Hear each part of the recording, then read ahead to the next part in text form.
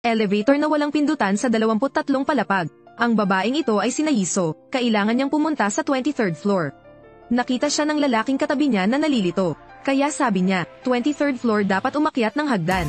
At iyon ay bahagi ng trabaho. Kahit medyo may pag-aalinlangan, pero mahina pa rin siyang umakyat. Kakapasok lang sa office. Nakita ni Hiso ang isang mahabang puting carpet. Nung magpapakilala na siya, sinabihan siya ng mga kasamahan na lumapit. Ngunit nang makaalis siya sa carpet, bigla silang nagsabi sa kanya na huminto. Palakad mo siya sa carpet. Ito ay bahagi ng trabaho. Dahil kung saan walang carpet, kinakatawan ang mga mahihirap, bagamat kakaiba ang pakiramdam. Ngunit magagawa lamang ni Hiso ang kanilang sinasabi. Sundin ang carpet upang magtrabaho. Binigyan siya ng mga kasamahan ng sampung blankong papel. Hilingin sa kanya na gumuhit ng mga bilog dito bago mag alas 12. At dapat gumuhit ng maayos at maingat. Sa ilang sandali mamaya, natapos niya ang pagguhit at ibinigay ito sa manager. Kumuha siya ng ruler at sinukat. Sobrang nasiyahan ang pakiramdam. Pagkatapos ay bigyan siya ng susunod na trabaho. Urahin ang lahat ng bilog ng sampung pirasong papel. Pagkatapos ay punan ang mga ito ng isang X. Makasunod lang si Iso. Ang orasan ay nagpapakita ng labindalawang o'clock. Itinulak ng maid ang food cart papasok. Naglalakad siya sa carpet, pagdala ng pagkain sa bawat tao. Parehas ang pagkain nila, masarap kumain lahat ng kasamahan. Bagamat maraming pagdududa si Iso, ngunit masunurin pa rin kumakain ng tanghalian. Kaya, si Iso ay naging miyembro ng kumpanya. Kailangan niyang umakyat ng hagdan para magtrabaho. Ang paglalakad sa carpet ay sumisimbolo ng kayamanan. Nakakatamad din ang laman ng trabaho. Hanggat ito ay paulit-ulit sa kahilingan ng pinuno. Hanggang isang araw, si Iso ay gumuhit ng mga bilog sa papel ayon sa hinihiling. Pagtapos na siya, dinadala niya ang artikulo sa pinuno para sa pag-aproba. Pagkatapos niyang suriin, pagkatapos ay makakita ng isang crack, bigla siyang nawala sa galit. Ang pakikipag-usap tungkol dito, ang kalidad ng trabaho ay bumaba, tapos sinigawan din niya yung ibang staff. Sa sobrang takot niya ay hindi siya makapagsalita. Binato ng pinuno ang papel sa kanya. Sabihin sa kanya na bumalik at gumuhit muli. Kailangan pang sumunod ni Iso. Ang mga kasamahan ay nagbibigay ng isang sheet ng papel. Magkita tayo sa hagdan. Tapos pinaalala niya, lahat sila ay ipinagbibili lamang ang kanilang sarili para sa pera. Hanggat nababayaran sila, hindi pumayag si Iso noong una. Ngayon may announcement, ang sweldo ngayong buwan ay higit sa 6.1 milyong VND. Bigla siyang natuwa, nawala ang lahat ng nakaraang pagdududa. Hindi na nababagot sa trabaho tulad ng dati. Ngunit ngayon ay puno na siya ng kaligayahan. Kahit na ang kahusayan sa trabaho ay bumuti.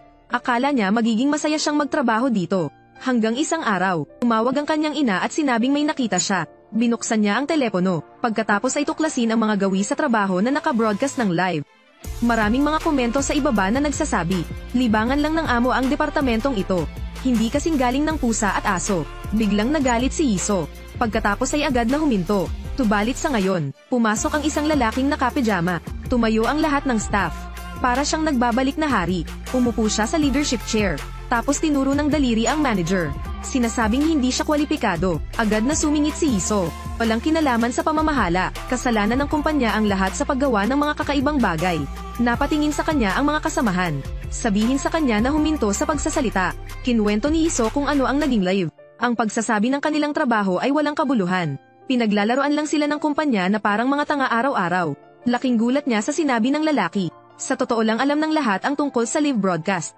Ito ay bahagi ng trabaho. Magkaroon ng mataas na sweldo. Kaya maging masunurin ka lang. Ang kahulugan ng gawain ay hindi mahalaga. Nang marinig iyon ng mga nasasakupan, na-appreciate nilang lahat ang trabaho. Napakasayang tao, sinabi niya kay Iso. Ang pangunahing layunin ng trabaho ay pera. Ang pera ay hari, kung patuloy kang magtatrabaho dito. Dodoblehin niya ang kanilang sweldo. Sa ilalim ng gayong kaakit-akit na mga kondisyon, hindi pa rin niya pinipiling mag-entertain ng iba. Pagkatapos ay humakbang sa desyerto at umalis dito. Sa ibang salita, kung bibigyan ka ng ganoong trabaho, so mananatili ka, talakayin sa ibaba. Ang chubby boy na ito ay si Dong Hyun. Dalawang totoong alien ang dumating sa iyo. Sa unang pagkakataon na dumating sa Earth.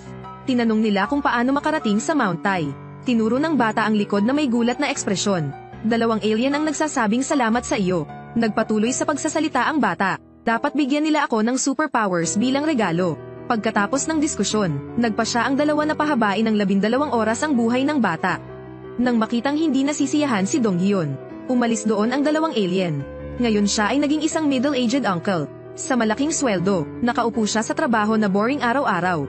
Habang pabaya, isang kotse ang bumangga sa kanya ng malakas. Akala ko patay na ako. Bigla siyang umupo gaya ng dati. Aware din naman siya, wala na akong masyadong oras. Nagmaneho siya para sunduin ang kanyang anak na si Soyon. Matapos panasan ang dugo sa ulo ko, nilagyan niya ng benda ang sugat. Ngunit ang anak na babae ay hindi nasisiyahan na makita ang kanyang ama. Busy kasi si dad sa trabaho buong araw. Ihirang magkaroon ng oras para sa kanya. Hayaan mong maging masaya si Soyon. Dinala siya nito sa amusement park. Sa kasamaang palad, ang mga kagamitan ay nasa ilalim ng pagpapanatili. Ang tanging bagay na maaaring laruin ay ang tren. Pero hindi siya sumuko, gumastos ng maraming pera upang dalhin ang iyong anak na babae sa cable car. Ngunit pumunta sa kalahating daan. Nasira ang cable car at huminto sa kalagitnaan. Sobrang nag-aalala si Dong Hyun. Ang kakaibang pag-uugali na ito ay pumukaw din sa pagkamausisa ni Soyon. Tinanong niya ang kanyang ama kung bakit kakaiba ngayon. Magsisinungaling lang siya, alien ako, babalik sa mga bituin bukas. Tinanong ng batang babae ang kanyang ina at lola kung siya ay isang dayuhan. Sinabi niya na hindi niya ito anak, biglang nalungkot si Soyon. Pero tanungin mo pa rin ako kung saang bituin ako pupunta. Dumating ang gabi, ipinakita ni Dong Hyun sa kanyang anak ang mga bituin. Ituro ang isang bituin at sabihing makakarating ka doon. Tanong agad ni Soyon. Dahil aalis na si Papa, bakit hindi gumugol ng mas maraming oras para sa iyong sarili? Busy daw siya sa trabaho. Nung ulit ng dalaga, bakit ka busy? Biglang nahiya si Dong Hyun. Ang nilalaman ng trabaho ay upang gumuhit ng mga bilog ng paulit-ulit. Pagkatapos ay tanggalin ito, gumuhit ng tatsulok. Pagkatapos ay tanggalin muli, kawili-wili ba ito, tatay? Hindi kawili-wili. Walang kabuluhan ang kanyang gawain. At dahil sa kalokohang ito, namiss ko ang mga mahalagang bagay. Wala pang oras para sa mga babae. Pagkatapos ay niyakap niya si Soyun sa kanyang mga bisig. Patuloy na mag-sorry, maliit na batang babae na natutulog sa kotse. Tinawagan ni Dong Hyun ang kanyang dating asawa. Mamamatay na daw siya bukas. Kaya ngayon gusto kong makasama ang aking anak na babae. Ngunit nagbanta ang dating asawa na isusumbong ito sa pulisya. Ano magiging walang puso ang isang asawa? Ngayon na, tahimik na sumakay sa kotse ang isang tao, at umalis kasama ang kanyang anak na babae. Hinahabol ni Dong Hyun. Pero ngayon, nasaksak na naman siya. Susunod na segundo, nabuhay siyang muli. Sa susunod na labindalawang oras ay magiging immortal siya. Bumaba ng sasakyan ang driver para tingnan. Wala siyang pakialam, ninakaw lang ang sasakyan. Tapos habulin mo yung kotse ko. Itong lalaking may utang ay si Heil. Bigla akong may nakitang sasakyan na nakaparada sa gilid ng kalsada. Nakaisip agad siya ng masamang plano. Tumatanggap ba ng sasakyan ang pawn shop mo? Oo, natatakot lang ako na hindi ito matubos ng pawnbroker. Habang si Dong Hyun ay hindi napansin. Tahimik siyang pumasok sa sasakyan. First time kong magnakaw, tumingin sa may-ari na humahabol sa akin. Halos lumundag ang puso ko sa lupa. Sa wakas ay napaalis si Dong Hyun. Gusto niyang maghanap ng pera sa kotse. Pero isang litrato lang ang nakita. Umikot, nagulat si Heil. Bakit may maliit na babae sa likod? Kainahinalang tinanong ni Soyun kung sino siya. Pagkatapos ay nagsinungaling si Heil na kaibigan siya ng kanyang ama. Hinayla niya ito na bumaba ng sasakyan. Pero hindi siya bumaba, at sabihing hindi ito ang aking ama. Isa itong alien. Natigilan si Heil. Walang ibang paraan. Patuloy siya sa pagmamaneho pasulong. Ayon kay Soyon, bukas aalis na si Dong Hyun sa lupa. Hindi na babalik, nang tanungin ni Heil ang tungkol sa kanyang ina. Sabi nung girl, mas magiging masaya si nanay kung wala ako.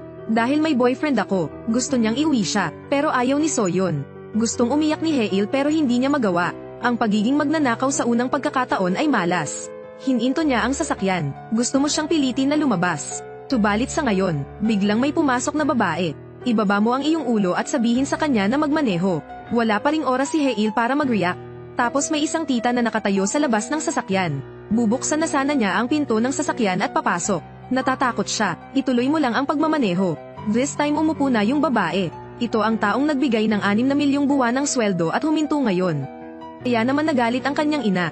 Papatayin siya ni mama. Tinanong ni Heil kung anong trabaho iyon. Sabi ni Iso, gumuhit lang ng mga bilog at tatsulok araw-araw. Pagkatapos ay burahin at muling iguhit. Pagkatapos pakinggan ito, nagpahayag ng interes si Soyon. Isipin na alien din si Iso.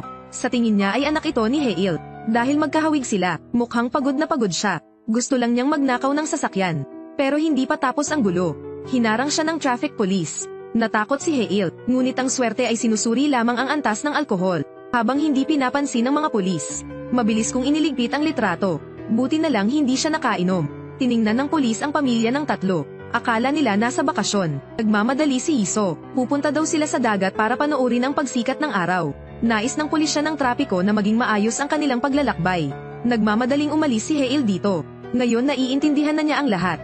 Hindi naman siguro ito malas. At binibigyan siya ng Diyos ng pagkakataong tabyusan ang kanyang sarili. Tahalip na isipin ang tungkol sa pagbebenta ng kotse.